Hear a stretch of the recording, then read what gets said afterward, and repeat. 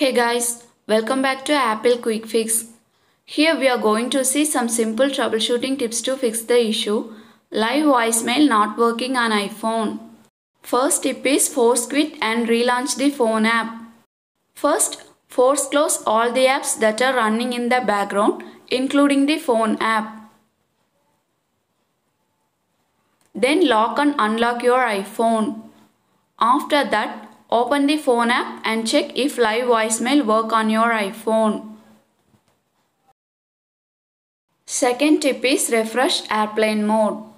First turn on airplane mode. Wait for a few seconds and then turn it off.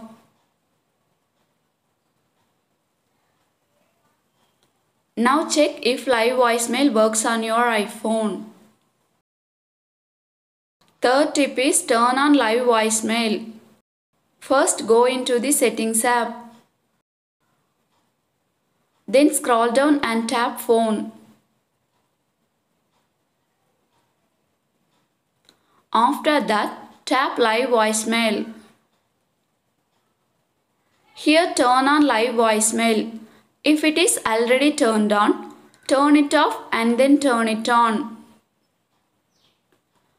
Now check if live voicemail works. Fourth tip is refresh cellular data. First turn off cellular data. Wait for a few seconds and then turn it on. Now check if the problem is fixed. Fifth tip is turn off call forwarding. First go into the settings app on your iPhone. Then scroll down and tap phone. After that tap call forwarding. Here turn off call forwarding. Now check if the problem is fixed. Sixth tip is enable data roaming. First open the settings app. Then tap cellular and make sure that cellular data is turned on. After that tap cellular data options. Here turn on data roaming. Now check if live voicemail works on your iPhone. 7 tip is hard reset your iPhone. First, you have to quickly press and release the volume up button. Then quickly press and release the volume down button. Finally, press and hold the side button until your iPhone flashes the Apple logo.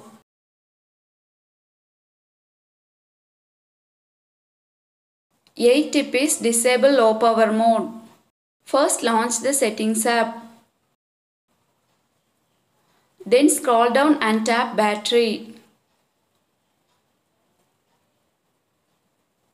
Here turn off low power mode. 9 tip is turn on cellular data for phone app. First launch the settings app.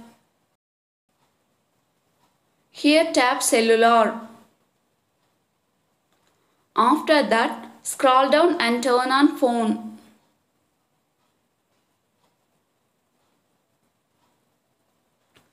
Then check if the problem is fixed.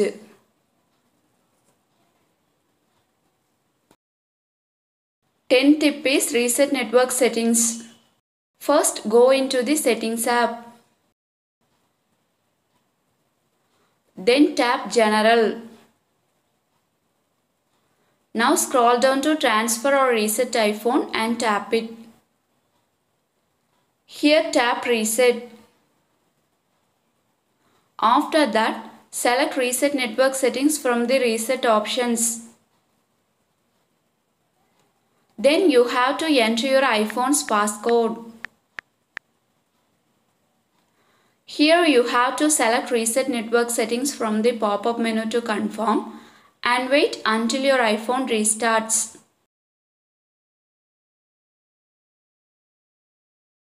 Eleventh tip is update carrier settings. First make sure that your iPhone is connected to Wi-Fi. Then launch the settings app. After that tap general. Here tap about. Now you have to select update from the pop-up menu to confirm if an update is available and wait until the updating process finished. 12th tip is update your iPhone. If this is a software glitch, updating your iPhone to the latest version of iOS will definitely fix this issue. So update your iPhone to the latest version of iOS and then check if the problem is fixed.